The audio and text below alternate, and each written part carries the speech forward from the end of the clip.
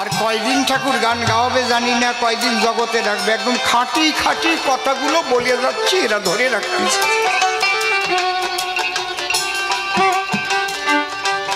কিন্তু বড় দুঃখের বিষয়, এই মতুয়াদের মধ্যে এমন কিছু বড় শিক্ষিত বুদ্ধিমান জন্ম নেছে, তারা মতুয়াদের বিভ্রান্ত করে ছাড়িয়ে দিচ্ছে অনেক মতুয়ারা এখন ভাবছে, তাহলে আমরা কোন দর্প আমরা কি হরি বলে কাঁদবো, গড়বো? নাকি ওনরা যা কয় ওনরা বলা আরম্ভ করেছে, মতুয়া আলাদা ধর্ম ধর্মরে একদল বেরোইছে না? আপনাকে এদিক নাই মনে হয়। আছে? মতুয়া সনাতন ধর্মেরই একটা মতবাদ, পরিশুদ্ধ মতবাদ, সূক্ষ্ম সনাতনের সূক্ষ্ম মতবাদ। হরিচাঁদ ঠাকুর কখনো কোথাও বলেনি যে আমি আলাদা একটা ধর্ম প্রবর্তনের জন্য অবতরণ করিয়াছি। যখন মতুয়ারা, মতুয়া মানে কি? মতুয়া কৃষ্ণ ভক্ত, মতুয়া হতে পারে ছোট। যে নামে মেতে যায়, একজন মুসলমানও মতুয়া হতে পারে। যদি আল্লাহ নামে সে মেতে যায়, যেমন ওনাদের মধ্যে আছে, মুসলমানদের মধ্যে। ওকে কি বলে যেন হাক্কানি ফকির জিগিজে হক আল্লাহ হক আল্লাহ হক আল্লাহ হক আল্লাহ। রাত দিন এরকম করছে।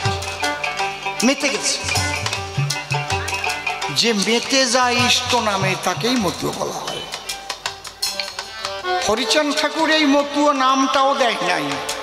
মতুয়া ছিল একটা গালাগালি। যখন মেতে যেত অনেকে ভাব সমাধি হয়ে যেত, উলঙ্গ হয়ে পড়ে থাকতো, কে নারীর কাছে, কে পুরুষের কাছে, এই বোধ থাকতো না। ওই হিংসুকের দল, সমাজপতির দল, ওরা বলতো, ওই দেখ, ওই যশবন্ত বৈরাগীর ছেলে হরিয়ে বেড়াচ্ছে কি করে? ঘরের মেয়ে মানুষ টানুষ সব দেখ, কীভাবে এরা মেকে মাটিয়ে গেছে। রে এই মতুয়া দল মতু হচ্ছে গোপালগুঞ্জিয়া ভাষা মতুয়র দল। গালাগালি। হ্যাঁ, মতুর দল। এই যে মেতে গেছে তখন ওরা হরিচাঁদের কাছে গিয়ে বলল বাবা আমাকে গালাগালি করে মতুয়া বলে। হরিচাঁদ ঠাকুর বলে যা ওরা যখন তোদের মতুয়া বলে গালাগালি দেয় এই মতুয়া হবে আলাদা সম্প্রদায়। যেমন বৈষ্ণব সম্প্রদায় ওরাও তো সনাতন ধর্মের। শাক্ত সম্প্রদায়, ওরাও তো সনাতন ধর্মে। দানপত্য সম্প্রদায় মতুয়া সম্প্রদায়টাও সনাতন ধর্মের এবং খাঁটি সনাতনের সুখ যে তত্ত্ব, তাই এই চলে। যদি খাঁটি মতুয়া কেউ হয়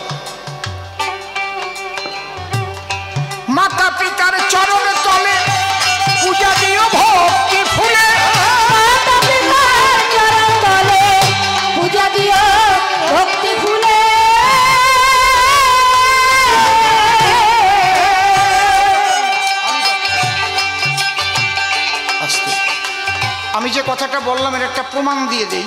কারণ আপনি সোনা যদি বিক্রি করতে যান, স্বর্ণকার একটা কষ্টি পাথরে ঘষা দিয়ে দেখে যে সোনাটা কেমন। আমি একটা কষ্টি পাথরে ঘষা দিয়ে আমার এই উক্তি সোনাটা ঠিক কিনা, যে বললাম এটা গালাগালি। অশ্বিনী ঘোষের গানের বই যদি কারও বাড়ি থাকে, হরিসঙ্গীত এখন নিয়ে আসেন। খোলে নোতে লেখা আছে, মতুয়া নামে ধরা ধামে দিত আগে গালা গালি এখন মতুয়া হয় জগৎ পুজ্য মাধুর্য প্রেমের পাত্র প্রাণ পুতলি। যদি কোনো বাড়ি থাকে, নিয়ে আসেন। ওই গানটা যদি ধর্মী মতুয়ার বলি ওই গানটার মধ্যে পদ আছে। দেখবেন সূচিপত্রে যাবেন, যদি ধর্মী মতুয়ার বলি এখনই যদি তাকে নিয়ে আসে মতু একটা গালাগালি ছিল। পরে এটা পারমিটেড হলো। হরিচাঁদ ঠাকুর বলল, তোরা আলাদা সম্প্রদায়। বলেনি আমি মতুয় ধর্ম দিতে এসেছি। আমাদের মধ্যে বিভ্রান্তি সৃষ্টি করছে। এবং তারা সাধু, গোসাই, পাগলদের যে অলৌকিক লীলাগুলো, এগুলো মানছে না। আমি জানি না এরা মতুয়দের নিয়ে কি করতে চাইছে। হীরামন পাগল, গোলক পাগল, মহানন্দ গোপাল সাধু নিজের বউ মরে যাবার পরে তারে জীবিত করেছে। কাসিমের আত্মা দিয়ে নিজের বউকে বাঁচিয়েছে এবং বলে দিয়েছে এই বাড়ির দ্বারে কেউ আসিস না, কামড় খেয়ে মরে যাবি, এ বারো বছর থাকবে। যে যাত অমনি কামড়াতে আসতো হাকরি বিচরণ পাগলের বউ। বিচরণে পাগলের বউকে কাশিমের আত্মা দিয়ে বাঁচিয়েছিল বিচরণ পাগল। গোপাল সাধু মরা মানুষ বাঁচিয়েছে। হীরামন পাগল মরা গাই লাথি দিয়ে বাঁচিয়েছে। হীরামন পাগল, তার স্ত্রীকে বলল, যাবি আমার সাথে? আমি চলে যাচ্ছি দেশের মানুষ দেশে। কারণ ঠাকুর বলেছে, এই হিরে, তোর কথা সবাই বুঝতে পারে না, যা, যে দেশের মানুষ সেই দেশে চলে যা। উনি জলের উপর দিয়ে হেঁটে চলে যাচ্ছে। ওনার বউ নামিয়ে গলা পর্যন্ত জল হয়ে গেছে, কয়া, আমি যেতে পারব না, আমি তলায় যাব না। কয় যা। আরে কাউয়ারে, যদি বলতি যে আমার সাথে নিয়ে যাও। এসব বিশ্বাস করে না ওরা। কয়, এগুলো গাঁজাখুরি গল্প। আমাদের মধ্যে জন্ম হয়েছে তাদের। হয়তো কারণ আম তার মা বাবা যত্ন করে হরিচান্দ রাখিছে। ওই হরিচান্দের আরাধনা করে তারে হয়তো ঠাকুর, আমার ছেলে মেয়ে হয় না, একটা ছেলে দাও। খালি ছেলে চাইছিল চাই নাই, তোমার ভক্ত সন্তান পাঠাইও ঠাকুর। তা চাই নাই খালি কয়, ছেলে দাও ছেলে দাও, ছেলে দেশে ওই একটা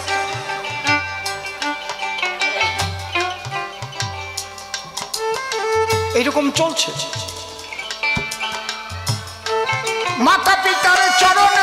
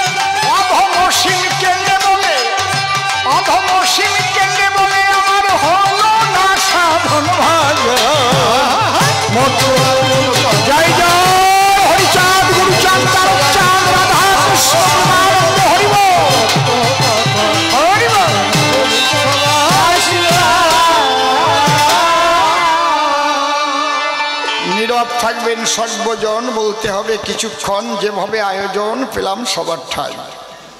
প্রথম একখানা গেয়ে গান দিলাম কিছু সমাধান, আপনারা শুনেছেন সবাই।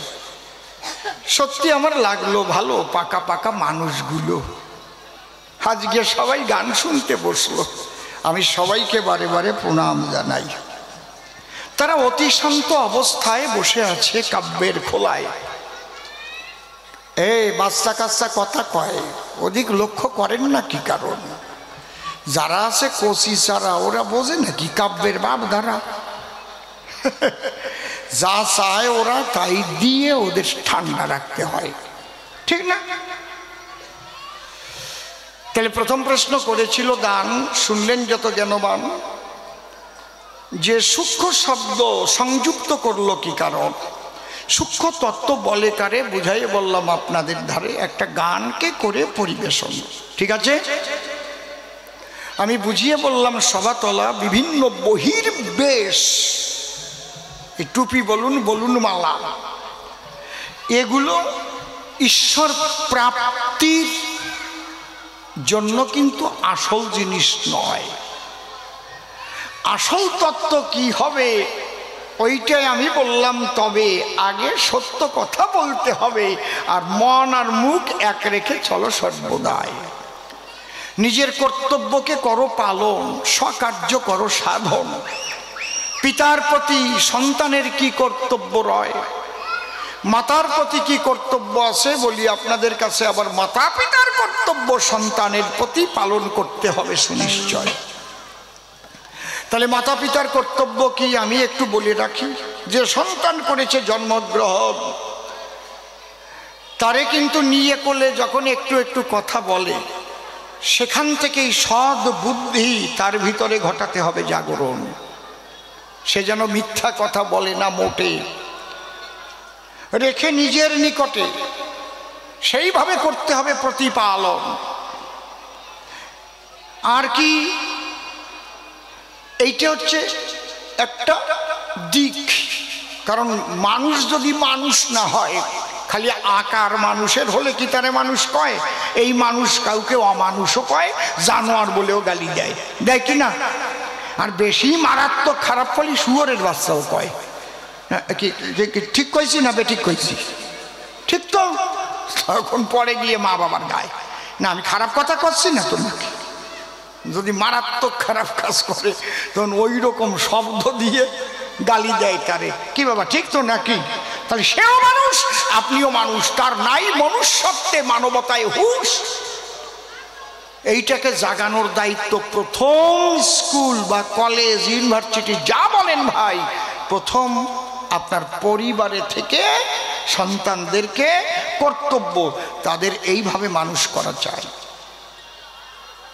জীবনে পরদ্রব্য নিবি না, চুরি করবি না, মিথ্যা কথা বলবি না। বুঝেছেন? আর আমরা প্রথমেই মিথ্যে কথা শিখই। কান্তিছে এমন কান্না কই এই, ওই যে বাইরে ভূত আসতেছে, ধরাই দেবা নেই, ভূত টুত নাই কিছু। এই, ওই যে বাগানের মধ্যে কিন্তু বাঘ আইছে। একটু বড় বড় লিখে তুমি মিথ্যে কথা করছ আমি বুঝতেছি না না? ওই যে মিথ্যে শিখলাম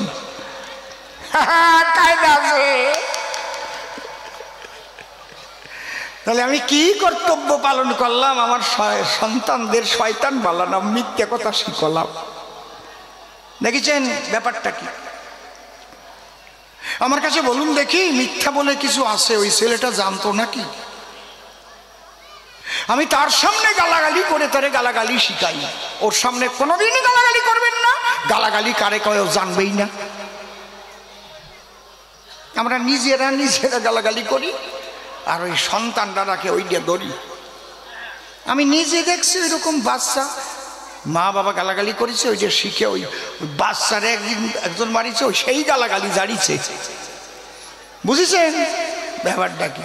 কি খারাপ কথা করছি না তো নাকি এই জন্যে বলছে, মায়ের শিক্ষা আগে হলে শিশু শেখে মায়ের কোলে। মতুয়া মতবাদ বললে আরও খুব ভালো হয়। কারণ এত পরিশুদ্ধ মতবাদ। আপনারা একটু ভালো করে করবেন আস্বাদ এই পৃথিবী সৃষ্টি হওয়ার পরে যত অবতার এসেছে চরাচরে, আজ পর্যন্ত বিশ্ব মানবের কল্যাণের জন্য কেউ বলে নাই এই বসুধায়। আমি চ্যালেঞ্জ করে বলতে পারি ব্যালেন্স ঠিক রাখি একদম। একদম খাঁটি খাঁটি কথাগুলি ধরেছে তুলি আপনি যাবেন? বৈষ্ণব মতে দীক্ষা নেবেন? কত রকমের তুলসীর পাতা ছিঁড়তে গেলে এই মন্ত্র বলতে হবে, এই জল খাতে গেলে এই মন্ত্র বলতে হবে, এই ভাত খাওয়ার সময় এই মন্ত্র বলতে হবে, মন্ত্র বলতে বলতে কাম সারা হয়ে যাবে ঠাকুর বললেন, তুমি তাকে স্মরণ করে গ্রহণ করো। হে প্রভু, তোমারই তো সব। তার দিকে রেখে দৃষ্টি, শুধু বলো প্রভু, তোমারই তো সৃষ্টি। আমার জীবন বাঁচাবার কারণ। হে প্রভু, আজ তোমার কৃপায় পেয়েছি মানব জীবন। এই যে প্রসাদ, যা অন্য করি গ্রহণ, প্রভু মনে মনে মনে মনে মুখ দিয়ে না। তুমি গ্রহণ করে প্রসাদ রূপে দিও মোরে মনে মনে। সংস্কৃত বলা লাগবে না। সাঁওতাল বাইরা সাঁওতালি মনের ভাষাই কবে? ভাষা কাহাকে বলে? যার দ্বারায় মনের ভাব প্রকাশিত হয়, তারে ভাষা কয়? মুখের ভাষা আছে মনের ভাষা আছে মুখ দিয়ে প্রকাশ করলেন না মনের মধ্যে বলা হয়ে গেছে। আছে না? এমন কাজ করেছে আপনি মুখ দিয়ে বললি আপনার পিটবে কারণ ওর বল বেশি। মনে মনে করি আসলেন। যদি কোনোদিন সুযোগ পাই তো ওরেও ছাড়বো না মনে মনে। আছে না? হ্যাঁ, কায়দা আছে। এই জন্য কর্তব্য পালনের কথা দিয়েছি আমি বক্তৃতা। বাবা হরিচাঁদ ঠাকুর নিজের হাতে লাঙল বইয়েছিল। মাঠে ফসল ফলাবার তরে নিজে বাবা হরিচাঁদ লাঙলের গুটি ধরে নিজে হালিয়ে হয়ে চাষ করতে গেল, গেছে দেখাল। আপনি আচরই ধর্মজীবেকে শিখায়। তারপরে সর্বশ্রেষ্ঠ কথা বসে শোনেন বিজ্ঞ শ্রোতা সন্তানদের শিক্ষা দিতে হবে সুনিশ্চয়। কারও ঘরে যেন একটা অশিক্ষিত সন্তান বিরাজ না করে। সমস্ত ঘরের সন্তানদের শিক্ষিত করা চাই। খালি শিক্ষিত বললে হবে না, সুশিক্ষিত করা চাই। কারণ শিক্ষিত এ যেন কেউ চোর ডাকাত না হয়।